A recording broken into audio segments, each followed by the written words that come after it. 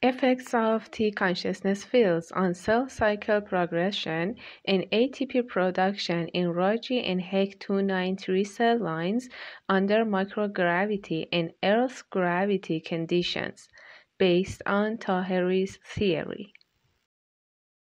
The outline of this presentation is as follows background, consciousness, T consciousness fields, the aims of this study, material and methods, results, discussion, and conclusion. Gravity has shaped the evolution of life on our planet.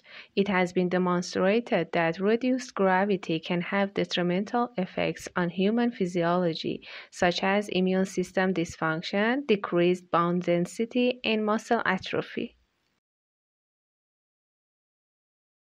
Ground-based facilities such as clinostat device are designed to simulate the microgravity environment.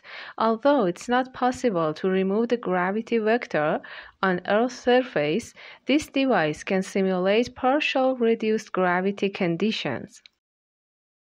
According to Taheri, the founder of Cosmo Research Center, T consciousness is a fundamental element of the universe, and information, matter, and energy originated from it.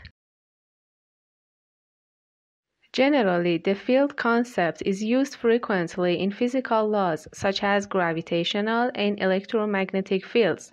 In this approach, there are various T consciousness fields with non-physical entities that can be examined through laboratory experiments.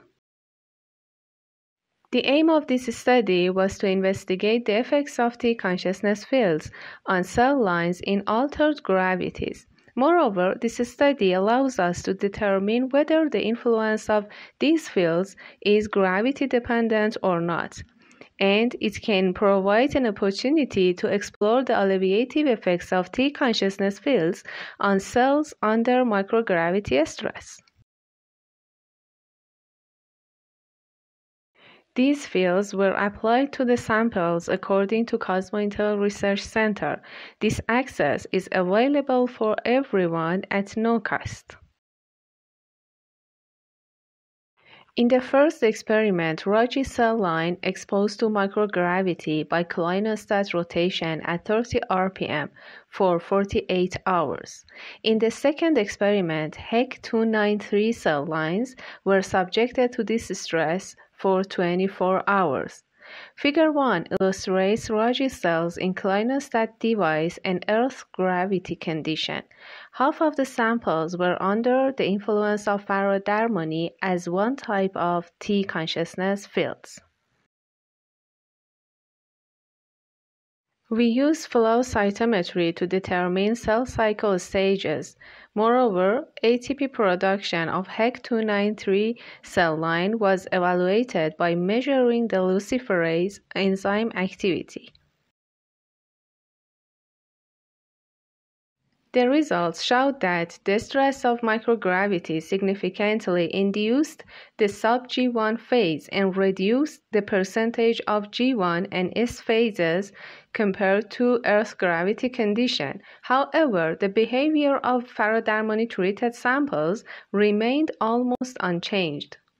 While microgravity significantly reduced the cell population, Faradarmani treated cells under microgravity showed a similar population as samples in Earth gravity condition.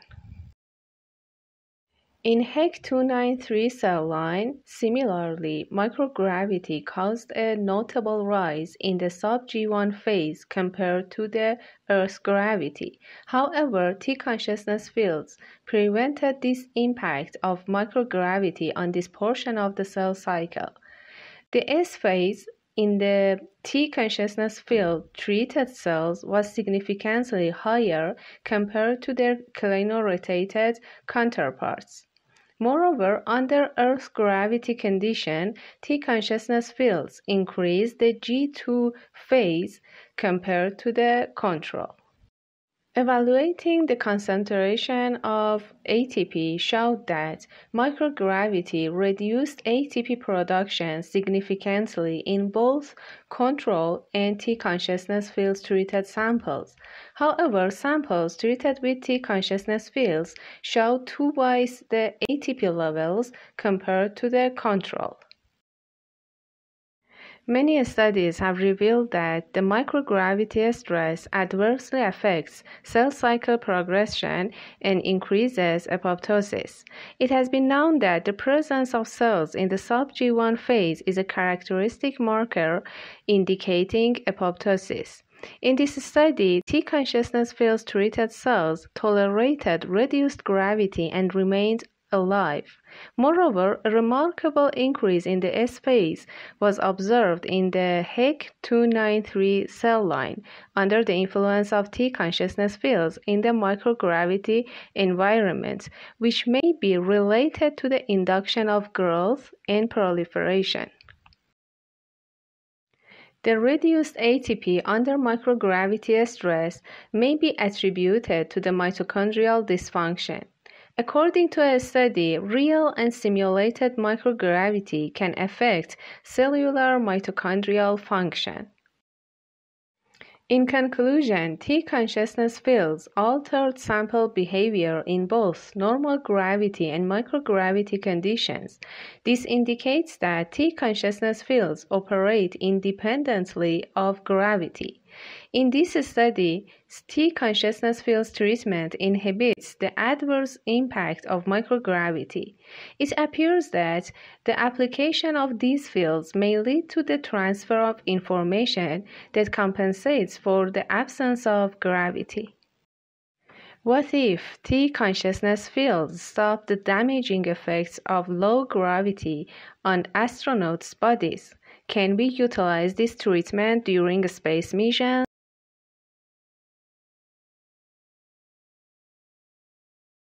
Our research team and thanks for your attention.